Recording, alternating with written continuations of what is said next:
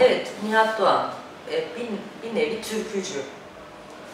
Zamanımızın, geçmiş dönemimizin bir nevi türkücüsü. Seda Sayan'ın da eski eşi.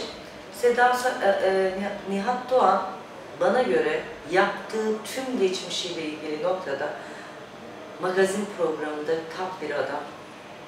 Ve gerçekten de dobra dobra konuştuğuna, gerçekten de delikanlı delikanlı konuştuğuna inanıyorum. Çünkü bütün e, sabah magazin programlarını ezdi geçti. O yüzden Beyaz TV'de söylemezsem olmaz programı Nihat Doğan tek başına da götürür ve gerçekten de takır takır her şeyi söylüyor.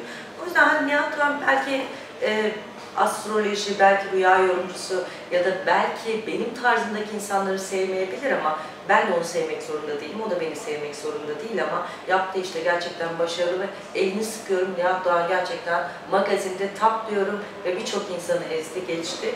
E, tabii ki şöyle bir durum var, herkes kartal, herkes şahin olmak için ulaşır. Gerçekten Nihat Doğan bir şahin şu an. E, iki yılda bu şahinliği devam eder ama Söylemezsem programında söylenen, çünkü Nihat Doğan çok detaycı, çok pimpirikli, çok inanç, inançlı bir adam. Yani yalan yere yemin etmez, öyle bir garip bir inancı da var. Allah'a olan düşkünlüğü çok fazla var Nihat Doğan'ın. O yüzden de bizim yaptığımız iş meslektaşları pek yani onun tarzı olmadığı için sevmeyebilir ama Nihat Doğan yaptığı işte çok başarılı ve Allah her zaman yolunu açık etsin diyorum.